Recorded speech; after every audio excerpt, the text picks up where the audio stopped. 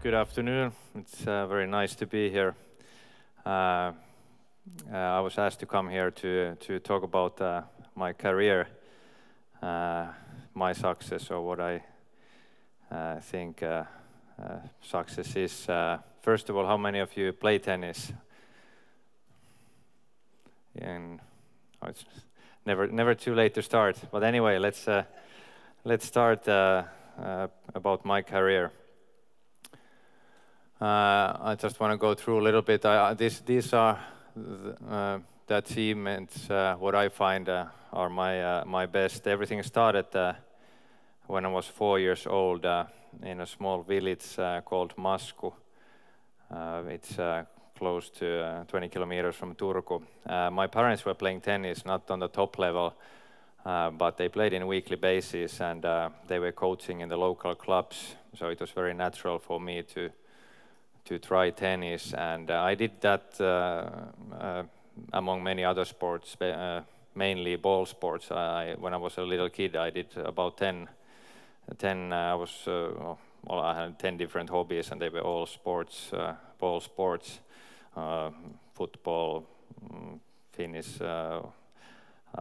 well, ice hockey, uh, just name it, badminton, basketball. Uh, just loved uh, running after after the ball. And apparently, uh, when I was uh, four years old, uh, I hit my first uh, first strokes, and somehow I, have found tennis most interesting. I, I always that that was like number one sport for me, and I just wanted to to be better every day. I just wanted to. Then when I started to compete, when I was seven years old. I went to the first competition, I uh, I started to well I. Uh, the big thing was to to improve every day, and uh, I just wanted to beat all the opponents I played against, and that was pretty much my only goal on, until the last day of my career. Uh, when I was a kid, I never had a dream or goal to be a professional tennis player. It kind of happened. I uh, mm, I was always best in my age group in Finland, and I and like I like I already said, I just wanted to be better tennis player and beat better players. So I I had to practice more, and then I had to leave those sports behind, which I didn't care that much. And suddenly I had only two, three sports left. And it was only at high school when uh, I first time started to think that maybe I could actually have a uh, have a career in, in tennis, or at least try and, uh, and then uh, when I finished my high school, uh, I supposed to have I supposed to concentrate and focus one only one year uh, for tennis, do nothing else, and figure out during that year what I would like to study later and uh, when I'm going to the military service, etc. And then uh, during that year, I, I played so well. I I started the year uh, about 330 in the world. And in the end of that year, I was 60 in the world. So in one year, I broke through to those uh, uh, big, biggest tournaments. In tennis, you, it's uh, very common to say that uh, top 100 is the is the top level. It's kind of a tennis players NHL. When you get to to top 100, then you can uh, play uh, the biggest tournaments and among the best uh, players. And it was actually, I don't want to, there's a lot of stories behind these achievements, but I don't want to waste too much time uh, on that. Uh, but uh, just to name a few, uh, this boys US Open 99, that was the, maybe the first time that gave me the confidence boost that if I can beat the best uh, best uh, juniors in the world in my age group. Maybe I could do that uh, in the men's series as well and uh, after that I had two more years at high school, and then uh, then uh, yeah, of course I think I'm most proud of uh, to be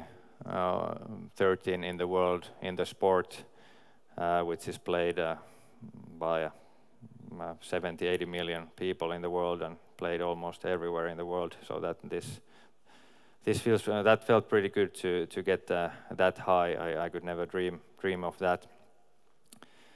Uh, then I want to uh, talk about uh, my strengths, also my, my weaknesses, and uh, how, how I got to, to 13, how I got uh, the success uh, I had.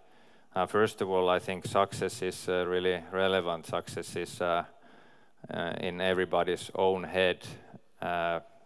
Why I think I succeed is that, or overall uh, success is, I think, uh, getting the maximum out of your potential. And I honestly think that I uh, I got everything out of this body and mind in tennis what I could, and that's why I'm I'm very pleased what I what I did.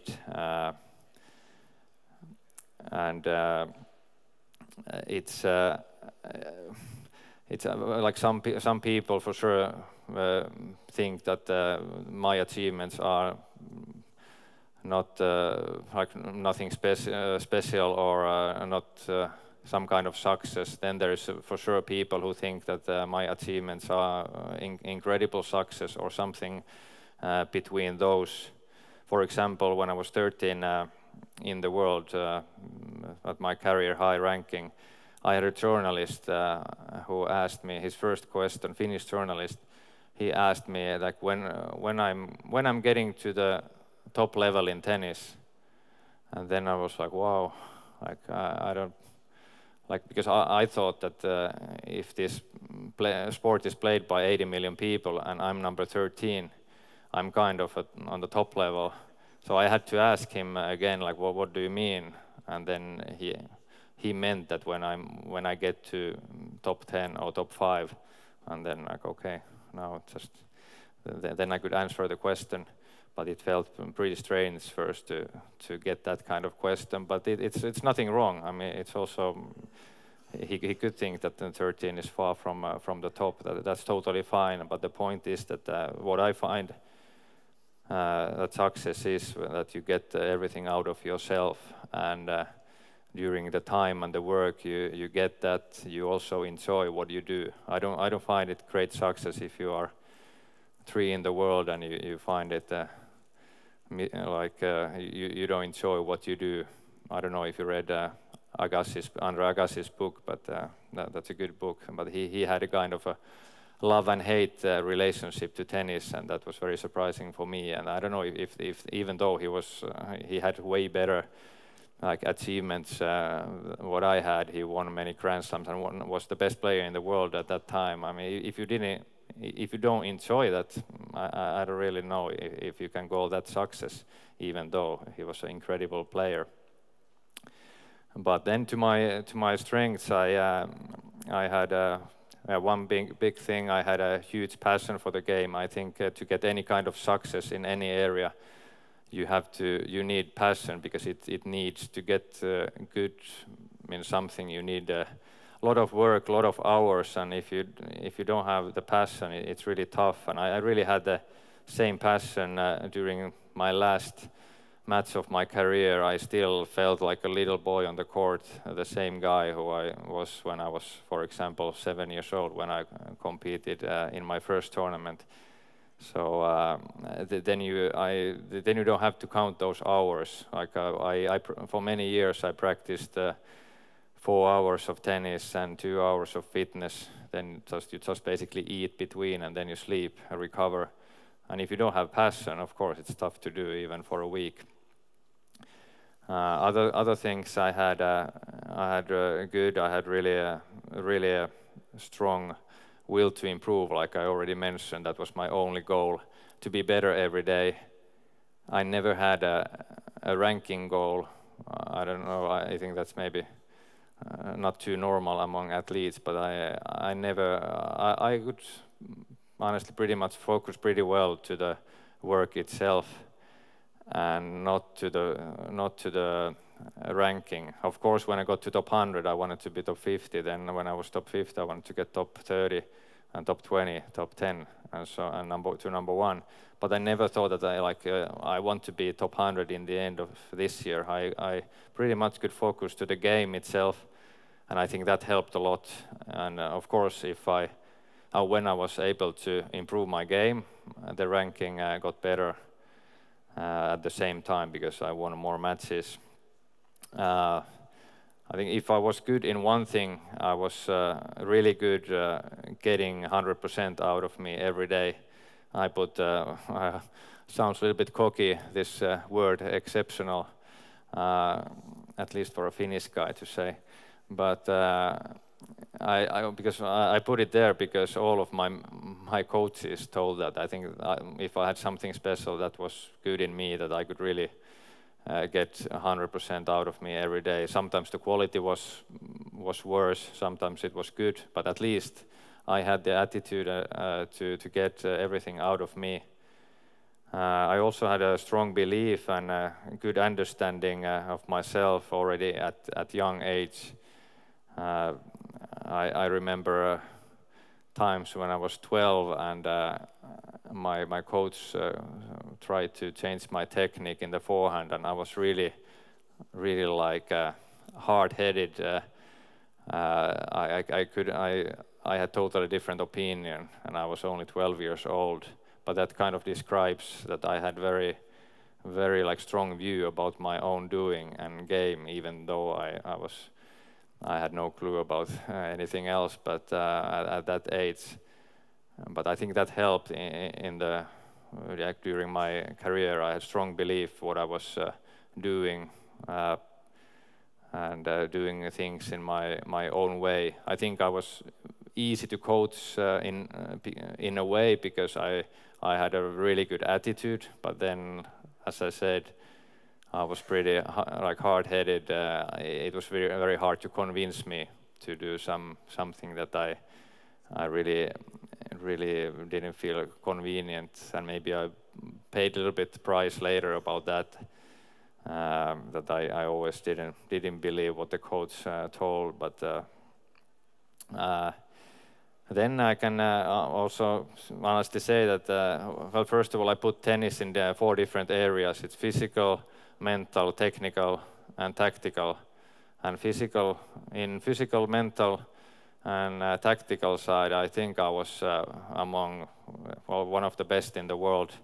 Then on the te uh, technical side, I wasn't that great, and I think that was one of the difference differences that uh, I, I didn't get, to, for example, to top 10.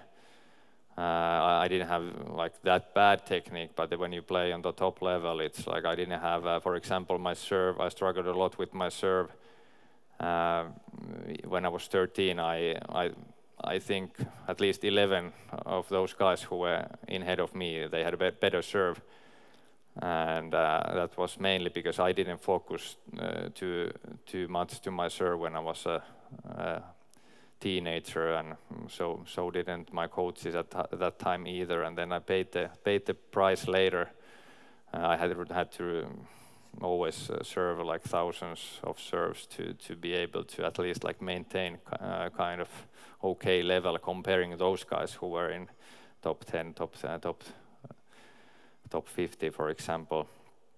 Um, then i uh, had uh, extremely high standards what comes to tennis. I was demanding really a lot uh, from myself and i I found it uh, like I'm pretty, pretty. Uh, it's it's uh, hard to say about myself, but I find myself quite easygoing off the court. But uh, then on the court, I'm really like hard-headed, demanding a lot. I was demanding really uh, a lot, uh, everything what was related to to tennis, and I I really didn't make any compromises uh, to be able to be be best uh, best possible. Uh, but then when we when uh, we get to my weaknesses, well, I already mentioned one stroke and the technical part comparing those other top players. But then my I find the biggest weakness by far the same that I, I just uh, mentioned in the on the strength side.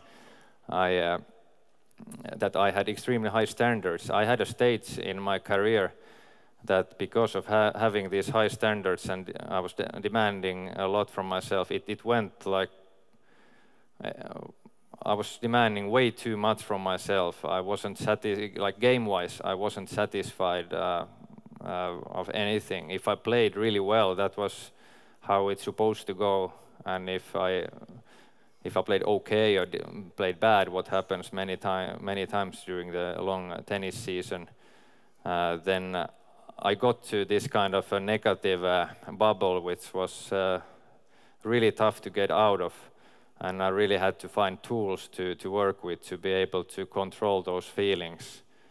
And, uh, and then I had one coach who really helped on, on that side.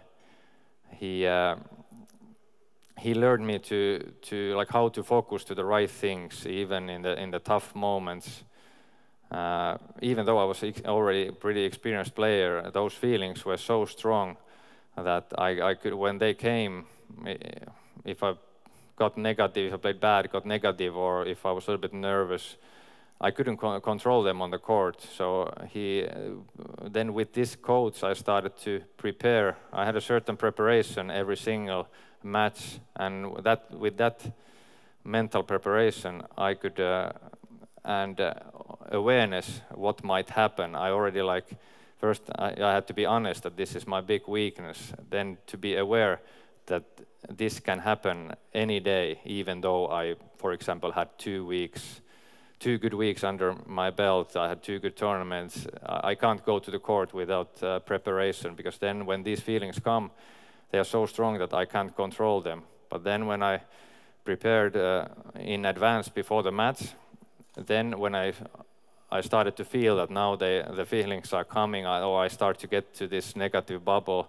then I, I could uh, uh, use those uh, tools and uh, focus to the right things. My coach, coach, uh, this uh, German coach, he um, he was very good teaching me what are the right things uh, for me at a certain time. They might be different this week, and uh, of course, there are main things that are important for me or someone else uh, all the time. But then some like depends how you play. Sometimes I struggle with the with the backhand. Sometimes I have a better confidence. Sometimes um, I move better. So they change, but I always had few goals before the match and tried to keep focus in those goals. And uh, he, it's uh, still in my head how uh, this uh, he this uh, German guy he always said before the match and already he reminded uh, during the match he was always saying like do the right things just do the right things just do the right things and it sounds really easy and also pretty naive uh, but it actually needs not a, a lot of knowledge and many times a lot of experience to know what are the right things for you I mean, it doesn't matter what you do in your job. If you, I mean, for sure there is uh, right things for you to do every day to get the uh, the maximum out of you. And he was really good, uh, like uh, helped me to realize what are the right things for me. And then it was pretty cool to when I was able to do that from the start to the finish, I could be very satisfied. Like before, I was kind of a guy who thought that okay, loss is a loss, loss is a bad, win is good, and of course you play for the victory. So win is a good thing because even if you play bad, at least you get you go forward and you get a chance to play better in the very soon in the next match.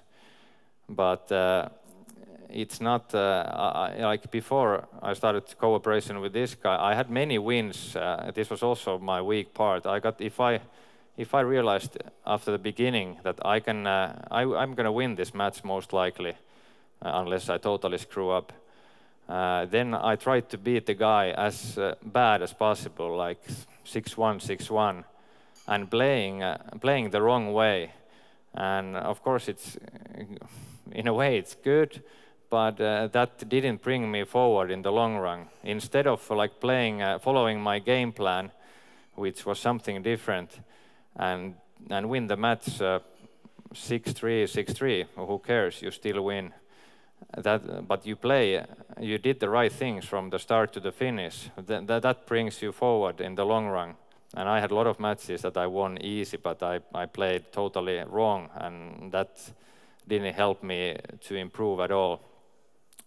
So uh, what I was saying that it was cool to even I, I, had some losses that I could after the match I was I of course disappointed, but then like I went through with with this coach, and then later I didn't need him to tell me that I I knew that I, I actually did the right things from the start to the finish, and I have to be satisfied because I can't do more. I mean, this day, I mean, it's not, it's never nice to lose, but sometimes the other guy is better, and today he was maybe better. And I mean, what can I do more than uh, than try to do those right things? And it was uh, like latest with him. I, I like my goals were uh, always in the work itself, not in the result uh, like I wrote there, uh, the result is just the outcome of the effort you put into it. So that means that uh, you, can't control the result, but you can control your effort. And then uh, it was like uh, it was nice to enjoy the effort that I could do, do uh, every day. And then with him, I basically like after the the beginning when we started to work, I was able to do it in almost in in daily basis and, and when you have the goals in the work uh, itself, uh, the goals are very practical. It helps you to live in the present moment, which is, of course, very important in tennis or, or life in general. Uh, for example, in tennis, if you think, if you have played bad uh, in the last uh, last tournaments you played, you, for example, if I lost two, four, three first rounds in a row, and I'm, I'm thinking about that too, too much, I'm thinking about the past, and immediately that takes something away from my, my confidence.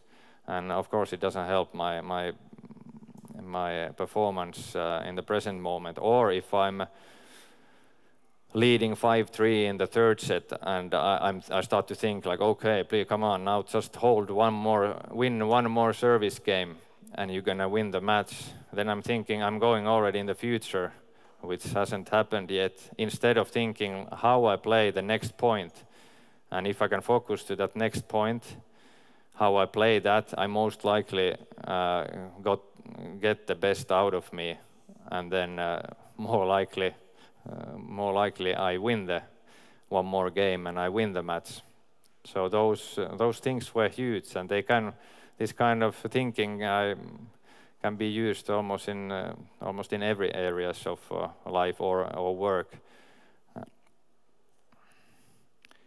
I'm talking about uh, uh, present moment, my my life after tennis. I, I quit. Uh, I finished my career uh, 2015, and I got this question about thousand times now that how how how it's been hasn't been tough after after you played for 16 years uh, professional and the life must be so different. And of course it's different but I I honestly had absolutely no problems to start this uh, next uh, chapter in my life. I think mainly because first of all I I could play much longer than I I ever dreamed of. Uh, secondly I finished healthy so I could finish in my own terms then uh, then I could uh, I never thought my oh my identity was never built around the sport or tennis or wins or losses. And that's what many many athletes do. They they feel that when they do well when they win gold medals or whatever they feel that they are better persons. And then when they do bad they feel they are very down and they feel they also like they are uh, like worse persons. But I never, that had never nothing to do, like my success or playing terrible, uh, did have nothing to do with uh, who I am. And of course, if you if you live through that, if you build your identity through that, then when you stop, then you, then you don't you don't know really uh, who you are. And I read a lot of um, I, I I know a lot of uh, ex-athletes and I read interviews and they, they tell like for in the beginning I didn't know who I am. And I'm like to me it's okay it's not surprising because um, that's uh, I'm sure they have uh, like a little bit uh, lived through the sport uh, too much. But uh, like I, I, it has never nothing to do like who I am. And that's why it has been really easy to enjoy this this time of life also, uh, thanks to tennis, it's uh, easier to put put things to right perspective. I got to travel only because of tennis. I got to travel to or to see over 60 countries. I saw a lot of different things, a lot of different cultures, a lot of different things happened. I met a lot of different people, and uh, and I really, when I'm now, I live in Finland here in Helsinki. I, I really enjoy how overall how how good things are here. Uh, some things that uh, I think I would take it for granted if I would not have seen uh, something else.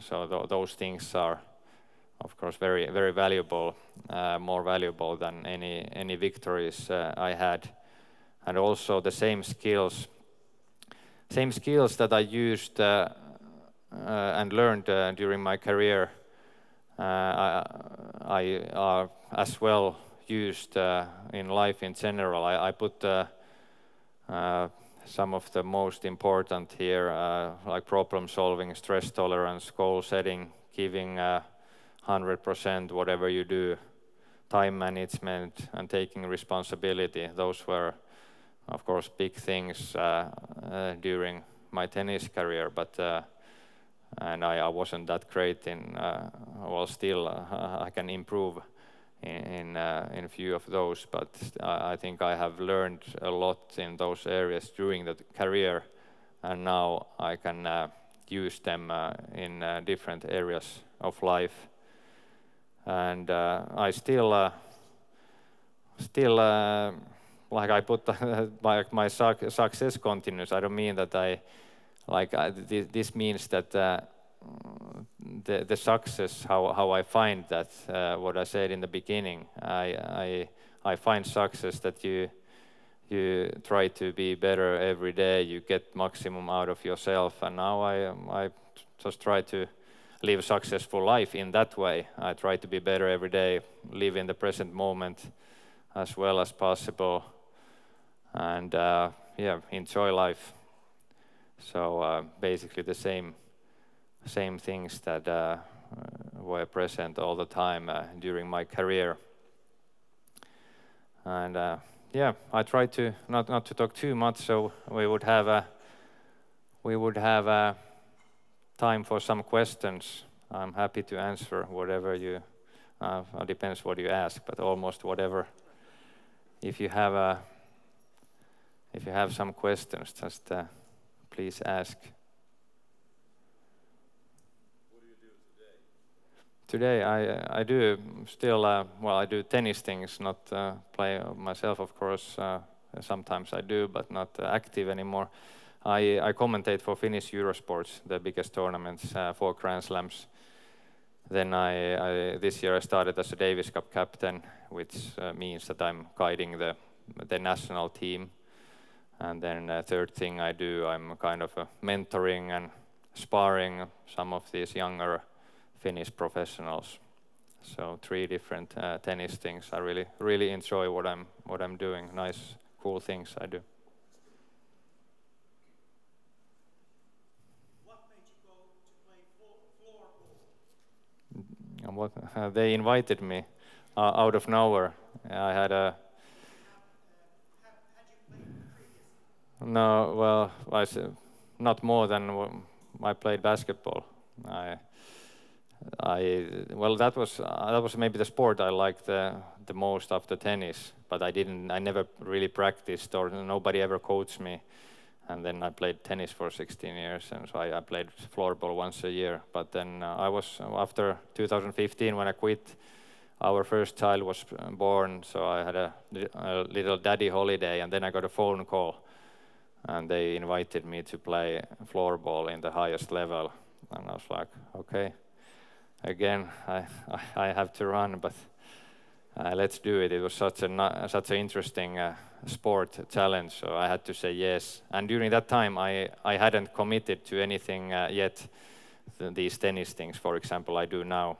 I think we at that time we lived in Denmark because of my wife's job, and we were. I knew that we were going to move, move uh, to Helsinki in a few months, so it suited pretty well to my my planning. I didn't have anything like job-wise anything planned yet, or anything. I hadn't committed to anything, so I wanted to try, but then. Uh, then my it basically finished. Uh, I could basically do it for three weeks. I, I started to the thing.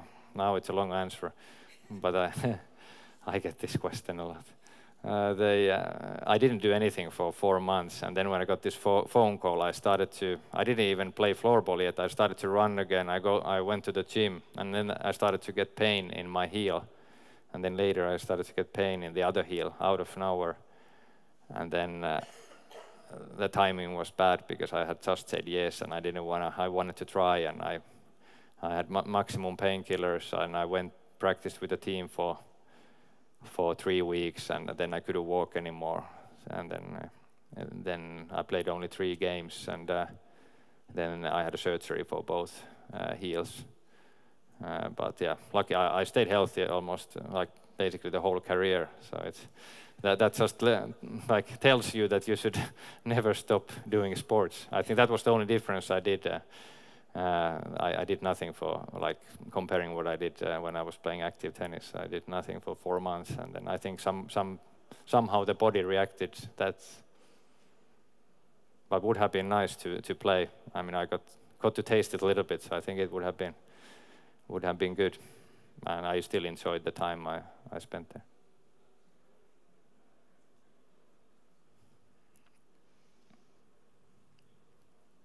No more questions.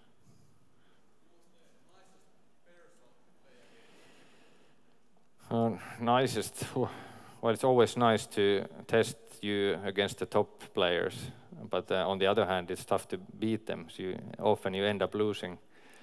So you kind of, uh, it's maybe like game-wise, it's one of the top guys you have beaten because that's it. That's how you get, have you got your better, best wins. But of course, like guy like Federer, uh, I know him since a little kid, and he's the best player ever. To to challenge myself against him, it's always a nice experience, even though I never beat the guy. So, oh, sorry. On the court. On the court. yeah. More. Somebody, somebody from the back? No. Yeah, there's few good talents, young talents in Finland. It's uh, still not a not the biggest sports in Finland, even though it's one of the biggest in the world. So we never, or hopefully in the, in the sometimes in the future, we have many, many, many talented. But uh, so far, we always had like uh, only only few, um, few. Um, but uh, it looks the future looks um, pretty good. There's few who can really break through to the top. We'll see. They are still pretty young.